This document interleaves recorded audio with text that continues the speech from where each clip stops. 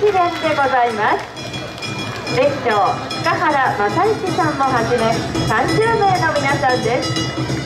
花火試練は昭和41年に地元高円寺で結成し今年で54年目を迎えます。伝統を守りつつ常に新しいことに挑戦している花火試練は毎年各地のお祭りやイベントを熱く盛り上げています。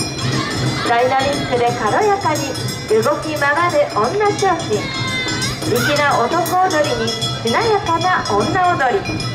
そして鐘を中心とした力強い鳴り物が一丸となって観客の皆様を魅了します。躍動感あふれる演出をぜひご覧ください。